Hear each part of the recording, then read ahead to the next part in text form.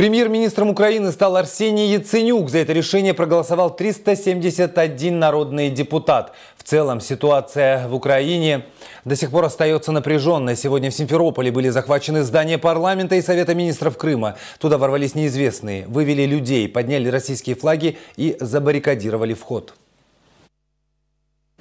Видели только, как захватили здание, то есть забежало туда сначала 30 человек вооруженных полностью.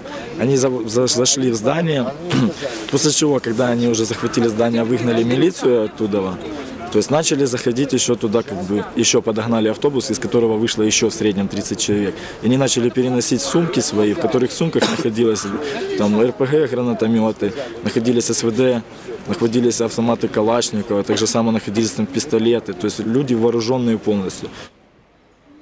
Здание взяли под контроль представители так называемой самообороны русскоязычного населения Крыма. По тревоге были подняты бойцы МВД и весь состав милиции. Для урегулирования ситуации создан специальный штаб. Сейчас с захватчиками ведутся переговоры. Их требования пока остаются непонятными. У цепленного правительственного квартала также проходят митинги. Собрались около 10 тысяч человек. Это как соратники, так и противники украинских властей.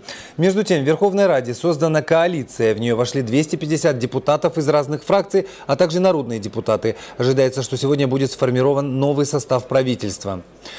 Тем временем Виктор Янукович сегодня обратился к народу Украины и заявил, что до сих пор считает себя законным президентом.